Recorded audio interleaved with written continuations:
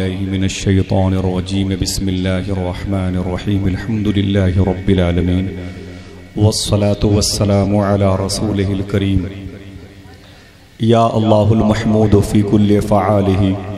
يا الله المحمود في كل فعاله.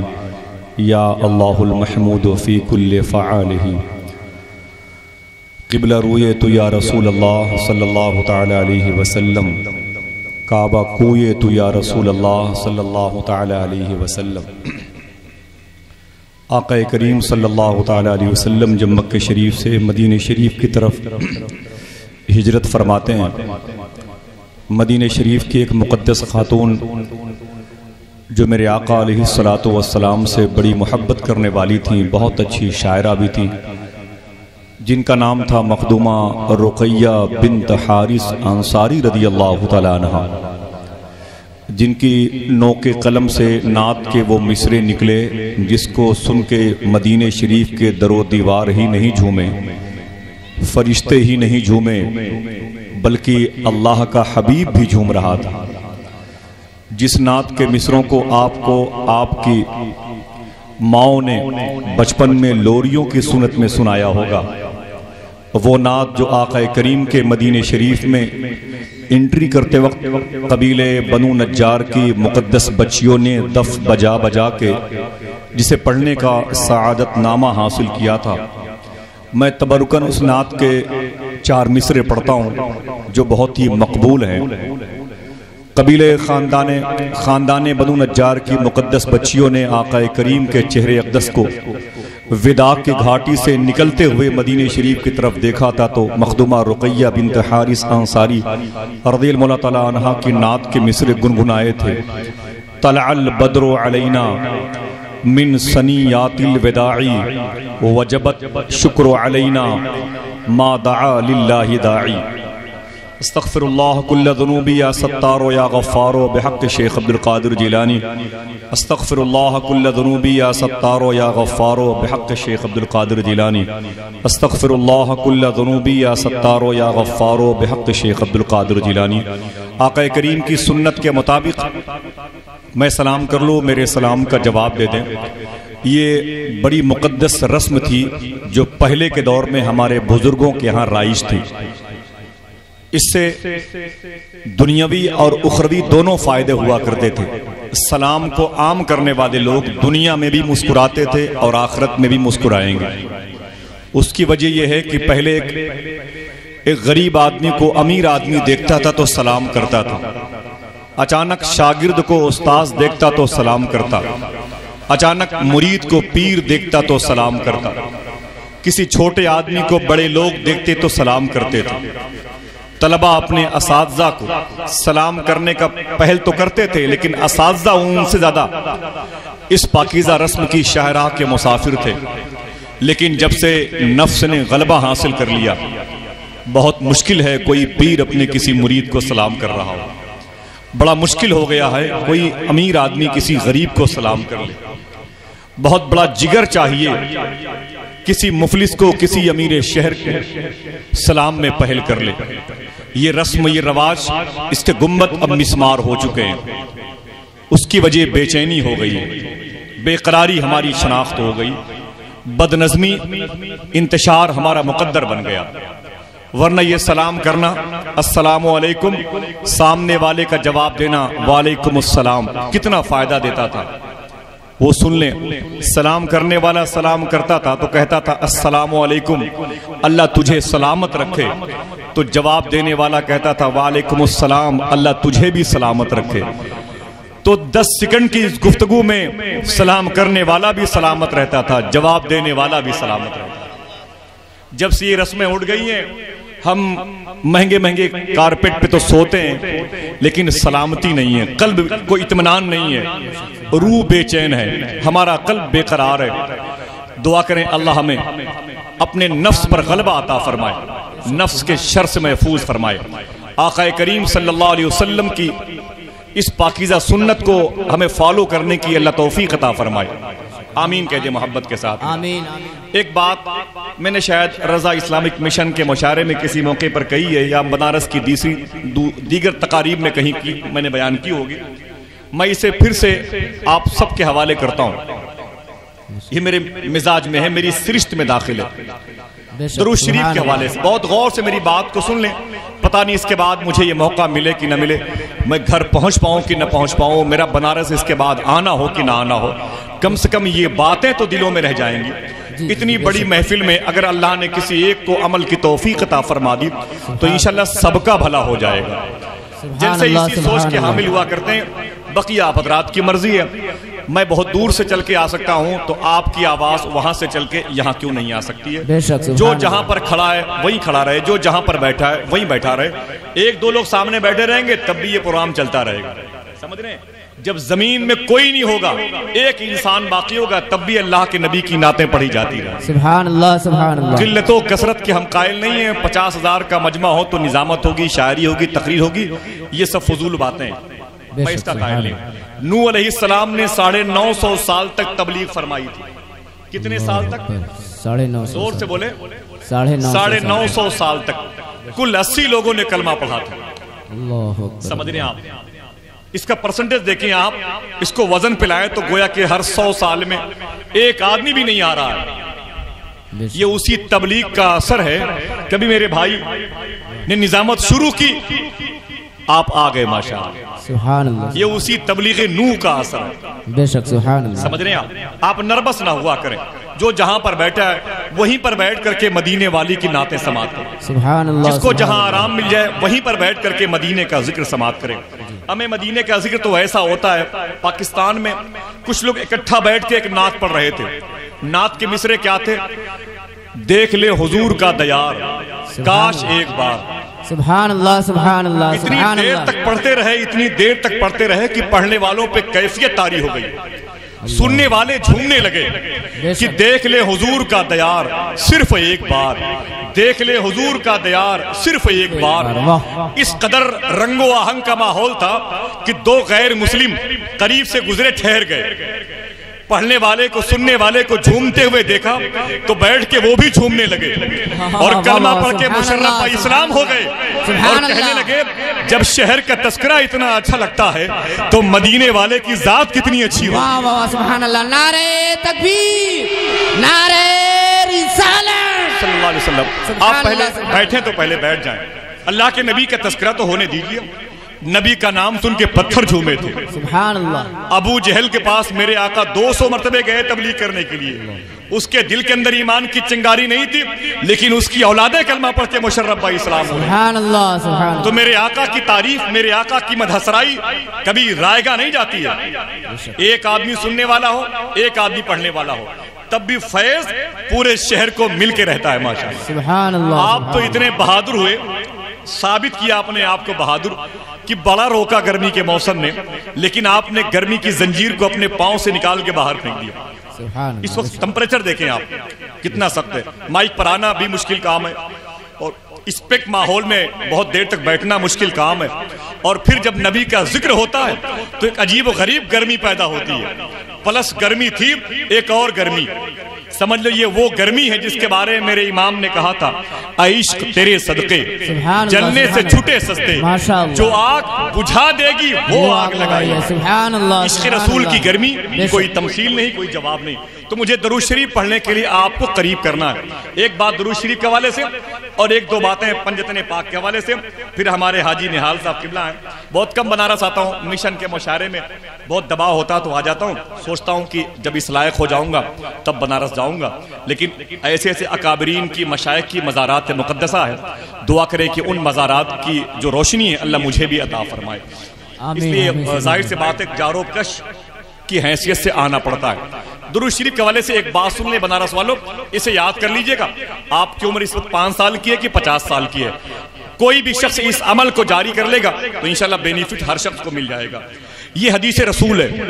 اس حدیث شریف کو سرکار غوث العظم نے غوث اعظم کا نام سے ان کو سبحان اللہ کہہ دو سبحان اللہ سرکار غوث العظم سرکار نے اپنی درود شریف کتاب بشار الخیرات شریف میں اسے کوڈ کیا۔ پھر اس کتاب سے درود قلبی میں خادم سرکار چودوں پیرا صوفی سلطان میاں شاہ صاحب قبلہ نے اسے کوڈ کیا۔ حدیث شریف کو پہلے غوث اعظم نے کوٹ کیا، پھر حضور صوفی سلطان میاں شاہ صاحب نے اپنی کتاب میں کوٹ کیا۔ وہ فرماتے ہیں کہ اللہ کے نبی نے ارشاد فرمایا، جب میں میراج کی رات رب کے حضور گیا تو اللہ نے مجھ سے تین سوال کیے۔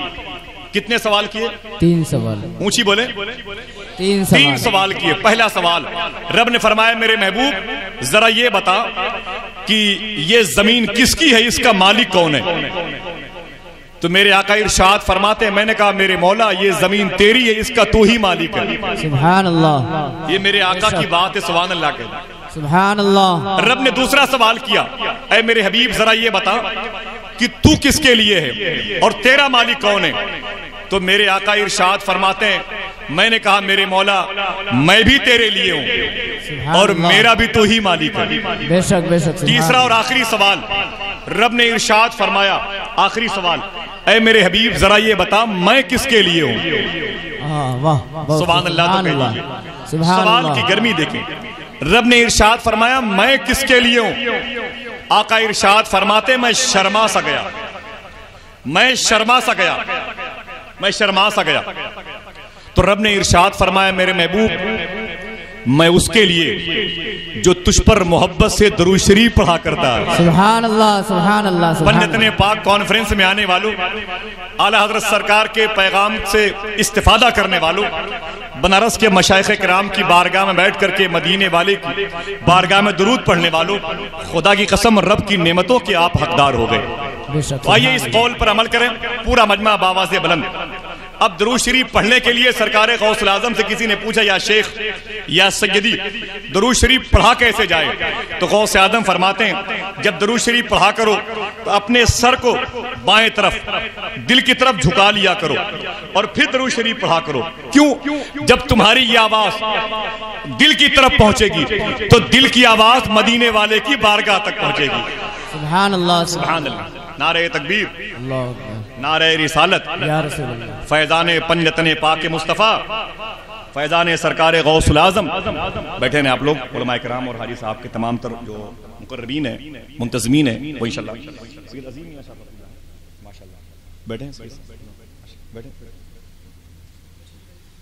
بیٹھے ماشاءاللہ. آپ میں سے کوئی ایک شخص اہل بیت کی اس عظیم الشان کڑی کا استقبال کر کے ایک دارہ بلند کر دے؟ اہل بیت کی نسبت سے. اتنی بڑی محفل میں. یہ کا- سبحان اللہ سبحان اللہ۔ ماشاء اللہ۔ اکبر۔ سبحان اللہ۔ بابا سے بلند، پورا مجمع۔ آقا کریم کو حاضر و ناظر جان کے درود شریف پڑھنے کا عمل شروع کرے اور پڑھے، اللہم صلی علی سیدنا و شفیعنا و نبینا و مولانا نور کا محمد و عطرتہ و بارک وسلم بعدد کل معلوم لک، بعدد کل معلوم لک، بعدد کل معلوم لک۔ اس جشن کو اہتمام کی برکتوں سے مالا مال کیا انجمن عاشقان مصطفیٰ و عاشقان اسیر حضور تاج الشریعہ۔ میں بنارس شہر کی اس مقدس تنظیم کے افراد کو بہت بہت مبارکباد پیش کرتا ہوں۔ جنہوں نے میرے شیخ حضور تاج الشریعہ کی غلامی کا پٹا اپنے گلے میں ڈال کر ان کے اقوال، ان کے کردار کو عام کرنے کے لیے ان کی دراز عمر کی دعا کی عظیم الشان مجلس عشق سجائی ہے اور اس جلسے کو منسوب کیا ہے ان کے نام، جن کو پنجتن کہتے ہیں، جن کو پنجتن کہتے ہیں، پنجتن کہتے ہیں، سبحان اللہ کہہ دیجیے۔ بیٹھ جائیں جو لوگ دائیں بائیں کھڑے ہوئے ہیں، میں چاہتا ہوں کہ وہ بیٹھ جائیں، صرف اس لیے میں ان سے کہہ رہا ہوں، ابھی تھوڑی دیر کے بعد آپ ادھر سے گزر بھی نہیں سکتے ہیں۔ اتنی بھیڑ بڑھ جائے گی۔ ادھر سے گزر بھی نہیں سکتے ہیں۔ تو بہتر ہے کہ بیٹھ جائیں جو لوگ کھڑے ہوئے ہیں۔ بیٹھ جائیں۔ پنجتن۔ پنجتن میں ایک نام ہے۔ آقا کریم علیہ السلاط و تسلیم کا۔ دوسرا نام ہے مولا کائنات۔ تیسرا نام ہے مخدوم کائنات کا۔ چوتھا نام ہے امام حسن کا۔ پانچواں نام ہے امام حسین کا۔ محمد علی فاطمہ حسن اور حسین۔ ان کو کہتے ہیں پنجتن پاک۔ کیا کہتے ہیں؟ پنجتن پاک۔ سرکار وارث پاک کے دربار کے درباری شاعر بیدم شاہ وارسی نے کہا تھا بیدم یہی تو پانچ ہیں مقصود کائنات۔ خیر النساء حسین و حسن مصطفیٰ علی۔ یہ پانچ ہو گئے۔ انہی پانچ کے بارے میں شاعر کہتا ہے یہی رک جاؤ اور دیکھو کہ کیسے لے کے اٹھوں گا۔ آواز میری آپ حضرات تک پہنچ رہی ہے؟ پہنچ رہی ہے؟ تو بس کسی سے پوچھ کر کے سبحان اللہ بھی کہہ دیا یہی رک جاؤ اور دیکھو کہ کیسے لے کے اٹھوں گا۔ میں توشہ آخرت کا آج ان سے لے کے اٹھوں گا۔ خدا سے صرف جنت لے کے میرا دل نہ بہلے گا۔ غلام پنجتن ہوں پانچ حصے لے کے اٹھوں گا۔ خدا سے صرف ہاتھوں کو اٹھا کے جواب دیجیے ہاتھوں کو اٹھا کے۔ نعرے تکبیر۔ نعرے رسالت یا رسول اللہ. فیضان پنجتن پاک. زندہ آباد. سبحان اللہ. سبحان اللہ. خدا سے صرف جنت لے کے میرا دل نہ بہلے گا. غلام پنجتن ہوں پانچ حصے لے کے بٹھوں گا. یہ پنجتن آقا کریم کی ذات مقدسہ نبیوں کے سردار کا پہلا نام. یہ پیدا ہوئے مکہ شریف میں. کابت المشرفہ کے قریب. ادھر دیکھیں بھائی ہنسے مت آپ آپس میں موسم ہے تو ظاہر سی بات ہے. رب کا بنایا ہوا موسم. ہو آئیے اس کی گرمی سے بھی استفادہ کریں اور اسی گرمی میں بیٹھ کر کے مدینے والے کی باتیں سماعت کریں۔ پنجتن میں پہلی شخصیت آقا کریم کی ہے، جو کابت المشرفہ کے سائے میں میرے آقا کی پیدائش ہوئی۔ آرام کر رہے ہیں چار سو اسی کلومیٹر کے فاصلے پر مدینہ شریف میں گمبد خضرا کے نیچے۔ دوسری شخصیت مولا علی کی ہے۔ جن کے بارے میں بزرگوں نے فرمایا کہ کابت المشرفہ کے سائے میں پیدا ہوئے۔ آرام کہاں کر رہے ہیں؟ عراق۔ عراق کی راجدھانی ہے بغداد شریف۔ بغداد شریف سے تقریباً ڈیڑھ سو کلومیٹر کے فاصلے پر کربلا ہے۔ کربلا شریف سے تقریباً اسی کلومیٹر کے فاصلے پر کوفہ شریف ہے۔ کوفہ شریف سے تقریباً سولہ کلومیٹر کے فاصلے پر نجف اشرف ہے جہاں مولا علی آرام کر رہے ہیں۔ سبحان اللہ سبحان اللہ۔ تیسری شخصیت امام حسن کی۔ امام حسن سرکار کی پیدائش ہوئی مدینہ شریف میں۔ سبحان اللہ۔ سبحان اللہ کہہ دیجیے۔ سبحان اللہ مدینہ شریف میں۔ شہادت پائی مدینہ شریف میں۔ آرام کہاں کر رہے ہیں؟ جہاں میرے آقا کے چچا حضرت عباس لیٹے ہوئے ہیں۔ جہاں میرے آقا کی لاڈلی بیٹی مخدومہ فاطمہ لیٹی ہوئی ہیں، جہاں میرے آقا کی ایک مکمل نشانی، مقدس نشانی، امام حسین کے بیٹے، امام زین العابدین، ان کے بیٹے امام باقر، ان کے بیٹے امام جعفر صادق، اسی جھرمٹ میں امام حسن آرام کر رہے ہیں۔ پانچویں شخصیت امام حسین کی ہے۔ یہ ذات بھی پیدا ہوئی مکہ شریف میں۔ مدینہ شریف میں اور پروان چڑھی مدینہ شریف میں آقا کریم کے دامن اقدس کے قریب۔ اور آپ مدینہ شریف میں اپنے والد مخدوم کے ساتھ میں دار الخلافہ جب ان کے ان کے والد نے بنایا کوفہ، تو آپ نے شہر کوفہ کا سفر کیا۔ وہیں پر آپ رہ کر کے اسلام کی حقانیت کا اعلان کرتے رہے۔ اسلام کے سوکھے ہوئے درخت کو ہرا کرنے کے لیے میدان کربلا میں آپ نے اپنے سر کو قربان کیا اور اپنے لہو سے اسلام کے سوکھے ہوئے شجر کو ہرا کیا۔ وادی کربلا میں، وادی تف میں، وادی نینوا میں مولا عباس کی مزار مقدس سے تقریباً پینتیس سو فٹ کے فاصلے پر پینسٹھ اصحاب کربلا کے قریب مولا علی اصغر اور مولا علی اکبر کی مزار شریف کے بالکل بیچو بیچ میں امام حسین سرکار آرام کر رہے ہیں۔ یہ پنجتن پاک ہیں۔ ان کے بعد ان کی نسلوں میں وہ اصحاب گزرے ہیں جو ان کو لے کے بارہ ہوتے ہیں۔ پہلی شخصیت مولائے کائنات آقا کریم، مولائے کائنات، امام حسن، امام حسین، اس کے بعد ان کے بیٹے امام دن العابدین جو مدینہ شریف میں ہیں، ان کے بیٹے امام باقر جو مدینہ شریف میں ہیں، ان کے بیٹے امام جعفر صادق جو مدینہ شریف میں ہیں، ان کے لاڈلے امام موسیٰ کاظم بغداد شہر میں۔ ان کے لاڈلے امام علی رضا ملک ایران مشہد شریف میں۔ ان کے لاڈلے Imam Jawad Taqi Baghdad city قاسمین شریف میں۔ ان کے لاڈلے امام علی نقیب جو تکریت اور موصل کے قریب میں سامرہ ایک جگہ ہے جہاں آرام کر رہے ہیں۔ ان کے بغل میں بارہویں امام امام حسن عسکری آرام کر رہے ہیں۔ یہ پنجتن پاک کی وہ مکمل نشانیاں ہیں جو پوری دنیا میں آقا کریم کے فرمودات کو عام کرنے کے لیے اپنے شہر کو خدا حافظ کہا اور امت رسول کی مغفرت کا سامان جمع کرنے لگے۔ الگ الگ ملکوں میں جا کے الگ الگ شہروں میں جا کے اسلام کی ترویج و اشاعت کرنے لگے۔ دعا کریں انہی پنجتن پاک کا اللہ ہم سب کو صدقہ عطا فرمائے۔ آمین آمین۔ کہہ دیں آمین کہہ دیں۔ آمین۔ پنجتن کے نام کی محفل ہے۔ ان میں ایک شخصیت امام حسین کی ہے۔ ذرا امام حسین کے نام پر کہہ دیں سبحان اللہ۔ پورا مجمع اپنے ہاتھوں کو اٹھا کے بولے یا حسین۔ یا حسین۔ میرے بھائی حاجی نہال صاحب سے پوچھا آپ نے اس جشن کو، اس محفل کو، اس مجلس کو امام حسین کے نام سے کیوں سجایا؟ بولے، حضور، اس دور میں وہابیوں نے بڑا پریشان کر رکھا لوگ امام حسین کی محبت دل سے نکال رہے ہیں اور ان کا پیار دل سے نکال کر کے ایمان کو کمزور کرتے ہیں۔ تو اس لیے بنارس کے لوگوں نے سوچا، کیوں نہ اسی کے نام سے جلسہ سجایا جائے، جس نے دین بچایا ہے، قرآن بچایا ہے، نانا کا فیض ہم تک پہنچایا ہے۔ اب امام حسین کون ہے؟ ایک آخری بات سن لیں۔ ذرا پھر سے کہہ دیں یا حسین۔ مجھے آج نظامت نہیں کرنی ہے۔ آپ کے قدم کے نیچے بیٹھ کر کے نظامت سیکھنی ہے۔ بہت دن ہو گئے آپ لوگوں کے سامنے آتے ہوئے بولتے ہوئے۔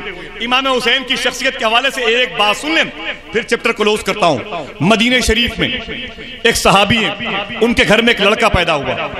چھوٹا سا بچہ پیدا ہوا۔ بچہ چھ مہینے کا آٹھ مہینے کا ہوا۔ ایک سال ڈیڑھ سال کا ہوا۔ اس کو اس کے ماں باپ باہر لے کے آئے۔ پڑوس کے منافقین نے دیکھا، کہا، یہ بچہ کس کا ہے؟ وہ کہتے ہیں، یہ بچہ میرا ہے. تو منافقین نے کہا، لیکن تمہاری صورت پر اس بچے کی صورت نہیں ملتی ہے۔ تمہارے چہرے سے اس بچے کا چہرہ نہیں ملتا ہے۔ یہ بچہ تمہارا نہیں ہے۔ یہ بچہ تمہارا نہیں ہے۔ صحابی کہتے ہیں، میری محبت کی نشانی ہے۔ منافق کہتے ہیں، نہیں، یہ بچہ تیرا نہیں ہے۔ صحابی بڑا پریشان ہوئے۔ صبر کرتے رہے، بچہ ڈھائی پونے تین سال کا ہو گیا۔ ایک دن اس بچے کو لیا، اپنی بیوی کو لیا۔ آقا کریم کی بارگاہ میں آ گئے۔ آج سرکار سے پوچھوں گا، یہ بچہ میرا ہے کہ نہیں؟ آج سرکار سے پوچھوں گا، ذرا سوچو، بنارس والو، کیسے نبی کے اصحاب تھے کہ گھر کے پرائیویٹ معاملات کے حل کے لیے بھی نبی کی بارگاہ میں آیا کرتے تھے؟ یہ بچہ حلالی ہے کہ نہیں؟ اس کا فیصلہ نبی کریں گے۔ اللہ اللہ۔ وہ صحابی اپنے بیٹے کو لیا، اپنی بیوی کو لیا، نبی کی بارگاہ میں آئے، میرے آقا کی بارگاہ میں سلام کیا اور حضور ایک سوال کرنا ہے، میرے آقا فرماتے ہیں بیٹھ جاؤ، وہ بیٹھ گئے، تھوڑی دیر کے بعد اس محفل میں امام حسین آ گئے۔ ساڑھے پانچ، پونے چھ سال عمر شریف ہے امام حسین سرکار کی۔ دوڑتے ہوئے امام حسین اس محفل میں آئے، امام حسین کو آتا ہوا دیکھا تو نبی کے سارے غلام کھڑے ہو گئے۔ حسین کی تعظیم میں حسین کے ادب میں سب کھڑے ہو گئے۔ امام حسین آئے، آقا کی گود میں بیٹھ گئے۔ نانا کی داڑھی مبارکہ کو چومنے لگے۔ میرے نانا نے حسین کے ہونٹوں کو چوما، حسین کی پیشانی کو چوما، حسین کے حلقوں میں اقدس کو چوما۔ کچھ دیر کے بعد امام حسین اٹھے اور پھر دوڑتے ہوئے واپس چلے گئے۔ جیسے امام حسین واپس پلٹے، وہ نبی کے غلام پھر کھڑے ہو گئے۔ حضور، میرا سوال پینڈنگ میں ہے، جواب چاہتا ہے۔ میرے آقا فرماتے بول تیرا سوال کیا ہے؟ وہ کہتے ہیں، سرکار، یہ بچہ میرا یہ میری بیوی ہے، یہ بچہ میرا ڈھائی پونے تین سال کا ہے، پڑوس میں کچھ منافقین ہیں، وہ کہتے ہیں، یہ بچہ تیرا نہیں ہے، تیری صورت اس بچے سے نہیں ملتی ہے، تیری بیوی کا چہرہ اس بچے سے نہیں ملتا، نہ تیرے باپ پہ گیا، نہ تیری بیوی کے باپ پہ گیا، نہ تیرے خاندان پہ کسی پہ آیا، یہ بچہ تیرا نہیں ہے، حلالی نہیں ہے، آپ بتا دیں یہ بچہ میرا ہے کہ نہیں، میرے آقا مسکرائے میرے آقا مسکرائے اور میرے آقا فرماتے ہیں، جا، خوش ہو جا۔ یہ بچہ تیرا ہی ہے۔ یہ بچہ تیرا ہی ہے۔ اب ایک جملہ سنیں گے، آپ کی روح خوش ہو جائے گی۔ فرماتے ہیں، میرے آقا، جا، یہ بچہ تیرا ہے۔ وہ صحابی کہتے ہیں، سرکار، میں جانتا ہوں جو آپ نے کہا میرا ایمان ہے۔ تیقن کے ساتھ میں کہتا ہوں۔ میرا ایمان یقین کے ساتھ، اعتقاد ہے کہ یہ بچہ میرا ہے۔ اب آپ نے کہہ دیا یہ بچہ میرا ہے۔ لیکن جو منافق ہیں، وہ ثبوت مانگتے ہیں، پروف مانگتے ہیں۔ یہ اس بچے کے میرے ہونے کا ثبوت کیا ہے؟ میرے آقا جلال کے عالم میں کھڑے ہو گئے۔ کہتے ہیں، سن میرے غلام، سن۔ تیرے پڑوسی پروف مانگتے ہیں۔ یہ بتا ابھی ابھی اس محفل میں، جب میرا حسین آیا تھا، تو حسین کی تعظیم میں میرے سارے غلام کھڑے ہوئے کی نہیں؟ جی حضور، حسین کی تعظیم میں تو کھڑا ہوا کی نہیں؟ جی حضور، حسین کی تعظیم میں تیری بیوی کھڑی ہوئی کی نہیں؟ جی سرکار، میرے آقا فرماتے ہیں، ذرا یہ بتا، میرے حسین کی تعظیم میں تیرا یہ تین سال کا بچہ کھڑا ہوا کی نہیں؟ حضور، یہ بھی لڑکھڑاتے قدموں سے حسین کی تعظیم میں کھڑا ہو گیا تھا۔ تو میرے آقا فرماتے ہیں، سن، میرے حسین کی تعظیم وہی کر سکتا ہے۔ جو اپنے باپ کی اصل اولاد ہوا کرتا ہے۔ جو اپنے باپ کی اصل اولاد ہوا کرتا ہے۔ حسین کی تعظیم وہی کر سکتا ہے۔ حسین سے محبت وہی کر سکتا ہے۔ حسین سے پیار وہی کر سکتا ہے۔ اور حسین کی مجلس میں بھی وہی آ سکتا ہے۔ تو ذرا حسینیوں پھر سے اپنے ہاتھوں کو اٹھاؤ۔ اور پھر سے کہہ دو، یا حسین یا حسین یا حسین۔ اب چار مصرے پڑھ کے بیٹھتا ہوں امام حسین کی بارگاہ میں۔ بیٹھتا ہوں امام حسین کی بارگاہ میں۔ یزیدی میدان کربلا میں اٹھارہ سو مارے گئے تھے۔ ان کی قبریں بنائی گئی تھی میں کئی مرتبہ گیا ہوں کربلا شریف۔ اللہ کا شکر ہے۔ چار مرتبہ میری حاضری ہوئی ہے بغداد شریف امام علی مقام کی بارگاہ۔ اور بیس پچیس دن کے بعد پھر انشاءاللہ غوث پاک نے چاہا تو میری حاضری ہو جائے گی۔ یہ پرور آنے کی دیر ہے اور تاریخ بھی انشاءاللہ آ جائے گی۔ میں اسی لیے جلسوں اور مشاعروں میں جاتا ہوں۔ آپ لوگ جو چند پیسے دیتے ہیں ان پیسوں کا صحیح استعمال بھی ہو جائے، ماشاءاللہ۔ رہی بات بچوں کی پرورش کی تو وہ تو بھیک مانگ کے بچے پالے جا سکتے ہیں۔ ہے کہ نہیں? تو سرکار غوث پاک کرم فرمائے۔ چار مصرے میں نے امام حسین کی مزار مقدس کے قریب بیٹھ کے پڑھے۔ بہت چھوٹے چھوٹے مصرے ہیں۔ انہیں پڑھ کے میں بیٹھ جاؤں اور مخدوم گرامی سید عظیم نوری شاہ صاحب قبلہ کو میں آپ کے حوالے کر دوں۔ ذرا پھر سے کہہ دیں، یا حسین یا حسین، اگر حسین کا صدقہ کھایا ہے تو اپنے ہاتھوں اٹھا کے بولیے گا، یا حسین۔ ہر چہار جانب سے، ہر چہار جانب سے۔ لوگ سوچے کہ شوال کے مہینے میں، محرم کے مہینے کی یاد کیسے آ گئی؟ لوگ سوچیں کہ نبی کا نور عین ہے۔ نبی کا نور عین ہے۔ ہمارے دل کا چین ہے۔ اور کہانی صرف اتنی ہے۔ یزید تھا حسین ہے۔ کہانی صرف اتنی ہے۔ یزید تھا حسین ہے۔ اللہ حسینیوں کو سلامت رکھے۔ پنجتن پاک کے قیدیوں کو سلامت رکھے پنجتن پاک سے محبت کرنے والوں کو سلامت رکھے، اہل بیت کے غلاموں کو سلامت رکھے، اسیران حضور تاج الشریعہ کو سلامت رکھے، بنارس شہر کے ان بزرگوں کو سلامت رکھے، جن کی اولادیں مخدومہ فاطمہ کے تذکرے کی محفل سجا رہی ہیں، جن کی اولادیں مولائے کائنات کی نام کی محفل سجا رہی ہیں۔ جن کی اولادیں امام حسن حسین کا علم بلند کر رہی ہیں۔ آئیے اسی خانوادے کا وہ لہجہ، اسی خاندان کے چشم و چراغ۔ اعلیٰ حضرت سرکار کی زمین سے جن کو نسبت ہے، میں اسیران حضور تاج الشریعہ کے موجودگی میں ایک خوبصورت آواز کے مالک کو نعت اور منقبت کی بہاریں تقسیم کرنے کے لیے ایسی مقدس محفل میں جہاں آنے کے بعد میرا دل کہہ رہا ہے کہ میں کہہ دوں، اے میرے مولا، جتنے لوگ یہاں پر بیٹھے ہوئے ہیں، ان کو زندگی میں ایک مرتبہ ضرور امام حسین کا روزہ ضرور دکھا دینا میرے مولا۔ دل سے آمین کہیں، دل سے آمین کہیں۔ کوئی مشکل نہیں امام حسین کے لیے۔ اے میرے مولا، یہ باوضو تیرے حسین کی محفل میں آئے ہیں۔ یہ باوضو مخدوم کائنات کی بارگاہ میں آئے ہیں۔ جیسے یہاں آئے ہیں، ویسے مخدوم کائنات کا در بھی دکھا دے۔ غوث اعظم کا روزہ بھی انہیں دکھا دے۔ اب آئیے بڑے ادب اور احترام کے ساتھ میں نعروں سے استقبال کر لیں اور سید صاحب قبلہ کی مقدس نعتیں سماعت کریں۔ نعرہ تکبیر۔ نعرہ رسالت، فیضان پنجتن پاک مصطفیٰ، ذکر امام حسین، اسیران کربلا شہدائے کربلا، عظمت سرکار غوث العظم، فیضان غریب نواز، محافظان مسلک اعلی حضرت، فیضان حضور تاج الشریعہ، آمد سرکار گلدار ملت، سرور و کیف نہ پینے کی بات کرتے ہیں۔ ہم اہل عشق کرینے کی بات کرتے ہیں۔ سرور و کیف نہ پینے کی بات کرتے ہیں۔ ہم اہل عشق کرینے کی بات کرتے ہیں۔ اور شہ مدینہ کی باتیں سبھی نہیں کرتے۔ شہ مدینہ کی باتیں سبھی نہیں کرتے۔ نبی کے شہر کی باتیں۔ میں ایک اعتقادی بات کرتا ہوں۔ نبی کے شہر کی باتیں کرتا ہوں۔ نبی کے شہر کے حوالے سے باتیں کرتا ہوں۔ جس کو مدینے والے چاہتے ہیں، وہی مدینے والے کی باتیں کرتا ہے۔ جس کو امام حسین چاہتے ہیں، وہی مدینے والے کی باتیں کرتا ہے۔